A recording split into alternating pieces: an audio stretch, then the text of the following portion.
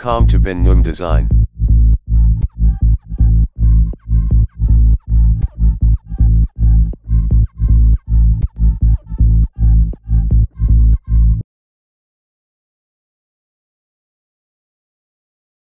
It's time for us to learn one of the most important features of the tax code, and that is working with files, and in this lecture we will see how we can either visualize files or folders and projects for this purpose. I have opened a project I have saved on my computer, which is on one folder, this Manager Server project. You can open any project you have locally and if you do not have it, I can provide this for you as a lecturer, as a resource for this lecture. Let's get started.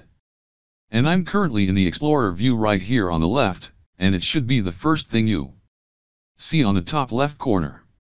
And this Explorer view, as you see at the moment, has like four entries. Let's see the first one. And this is just a file explorer. I can open a file. And there are two ways I can not just click on it and notice that it appears in italic font. This means that if I click another file, it will replace this currently open file.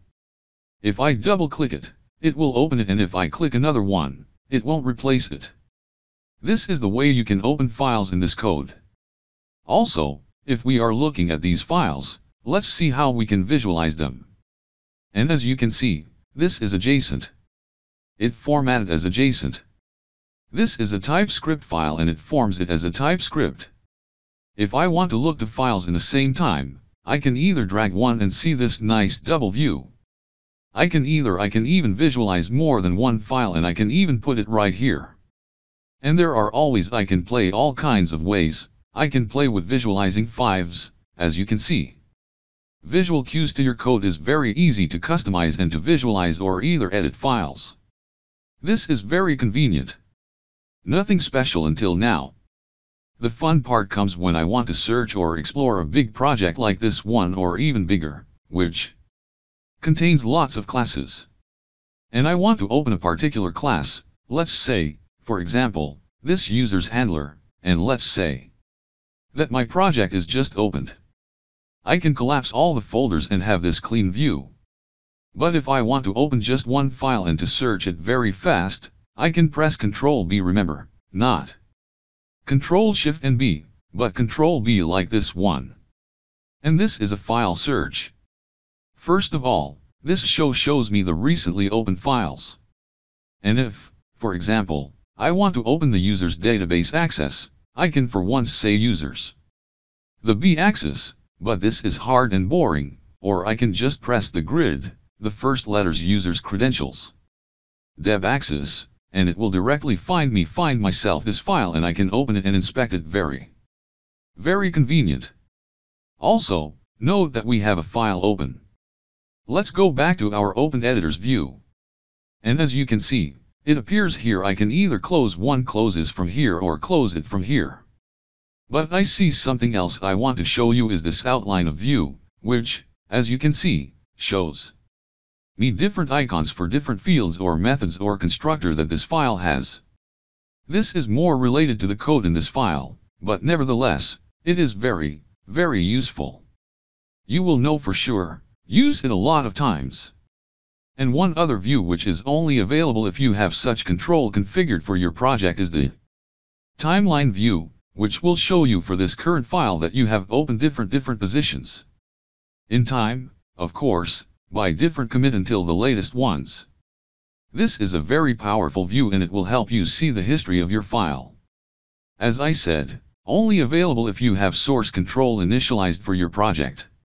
We will see this later on in detail how you can do it inside this course.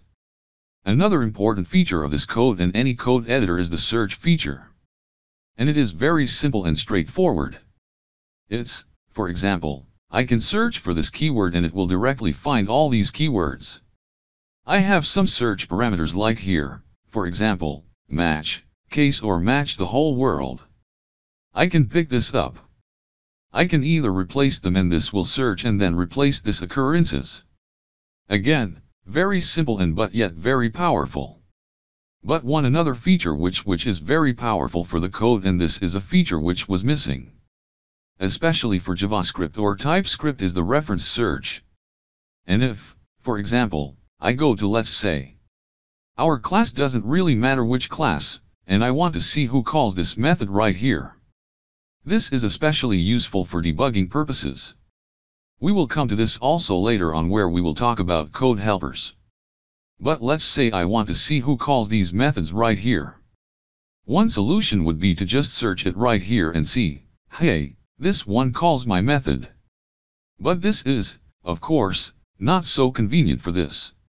I can right-click it and find all references right here. And this will take me to the references view. It will open a new viewer right here and it will show me who calls these methods. And as you can see, currently, I have only two callers. Let's see if I am talking about references. There is another very useful feature, which is the call hierarchy. It, for example, I want to see who calls this create server method. I can write. Click it and see call hierarchy. And as I can see, this is called by my launch app method from inside my launcher class. This is not so. Yeah, this is convenient. But another cool thing about this code, and I haven't seen this in other editors, is that I can also see who calls my method with this, but I can also see what my method calls. And as you can see, it will give me a list of methods or fields which this method calls. For example, it creates the it calls the create server, the listen method, the logs the end. And yeah, these are just details, but it can show me exactly what this method calls and it can help me make a very powerful idea of what's going on inside my project really, really fast. If I want again to understand very fast what's happening here, I can, for example, go to a method. And if I want to go to learn more about it, I can press Ctrl and then click and it will directly open the file which contains it. And here again inspect its code. So as you saw, this code is very powerful when it comes to working with files, when it comes to navigating a project or visualizing a certain file, it helps us a lot in our programmer or designer life. And before finishing the lecture, there is one last very cool trick I want to show you. And I switched to my Windows machine to show you this, because on Linux, the shortcut is already taken by the operating system. But if, for example, I want to edit multiple lines in the same time, this code has a very cool feature called multiple cursor or multi-cursor. And how can I trigger this? Observe now that my cursor is here after this 880, but if I press hold and then put my mouse at another places. Notice that now I have like four cursors and I can just edit all these lines in the same time. This is very convenient. When to when you want to modify, you know, large files or you want to edit JSON files, just remember. Click and then Alt and then you can nicely edit all your lines in a very cool fashion.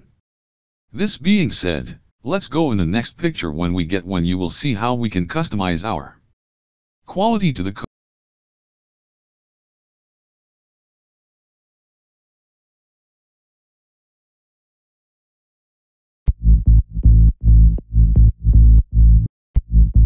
Thanks for watching. Subscribe my channel.